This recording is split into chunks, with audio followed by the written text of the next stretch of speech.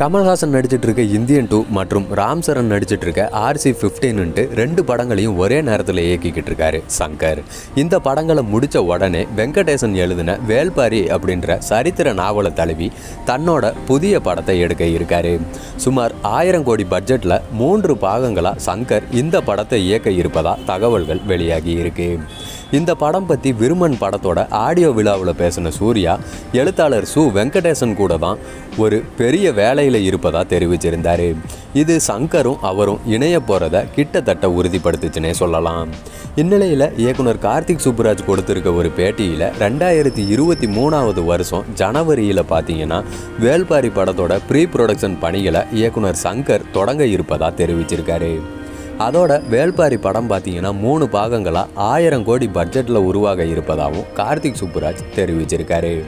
அதனால் Indian two மற்றும் ராம் சரண் நடிக்கிற படங்களோட மொத்த படப்பிடிப்பையும் இந்த வருஷத்துக்குள்ளே முடிச்சுட்டு அடுத்த வருஷம் சூர்யா நடிக்கிற வேள்பாரி படத்தோட வேலைகளை தொடங்குவாருன்றது உறுதியாகி இருக்குது அதோட இந்த படத்தில் கன்னட நடிகரான கேஜிஎஃப் படத்தில் நடித்து பிரபலமான யஸ்ஸும் பார்த்தீங்கன்னா சூர்யா கூட சேர்ந்து நடிக்கிறதா சொல்லப்படுது.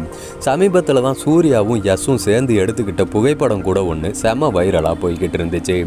அவங்க ரெண்டு பேரும் இந்த படத்தில் சேர்ந்து நடிக்கிறது ரசிகர்கள்கிட்ட மிகப்பெரிய எதிர்பார்ப்பை ஏற்படுத்தி இருக்கு. அது மட்டும் இல்லைங்க பிரம்மாண்ட இயக்குனர் சங்கர் இயக்குறாரு அப்படின்னாவே ரசிகர்கள் மத்தியில் ஒரு மிகப்பெரிய எதிர்பார்ப்பு இருக்கும்.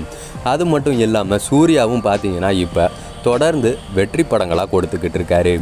அவரோட அடுத்தடுத்த படங்களுக்கும் ரசிகர்கள் வெயிட் பண்ணிக்கிட்டு தான் இருக்காங்க. இந்த மாதிரி டைமில் இப்படி மிகப்பெரிய ஒரு படத்தோட அறிவிப்பு வந்துச்சு அப்படின்னா ரசிகர்களோட உற்சாகத்துக்கு ஒரு எல்லையே இல்லாமல் போயிடும்.